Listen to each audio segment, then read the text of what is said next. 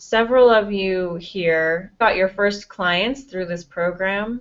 You'd never worked with anyone in a professional setting before. I'd love it for you to speak about working and making money from doing something that's in alignment with your soul. Because so many people are looking for that. They want to be able to tie their support, their financial support, to something that's truly authentic. I would love to go around and just get your experience of what it was like to work with people using intuitive art and to make money from it.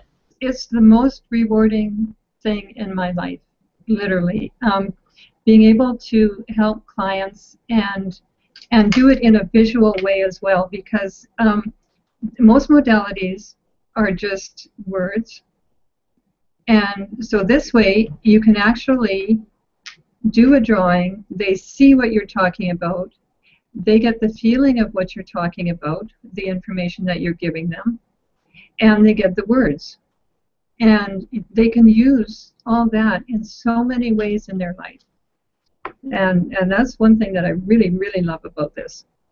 It's I guess it's almost a revelation for me. As kind of odd as that sounds, is like yes, I bringing somebody else ab- abundance with information and.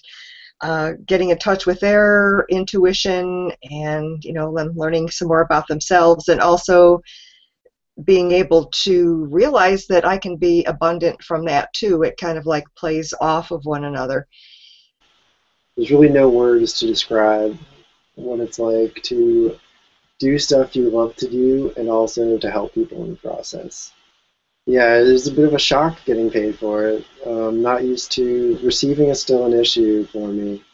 So that's something I'm working on still, but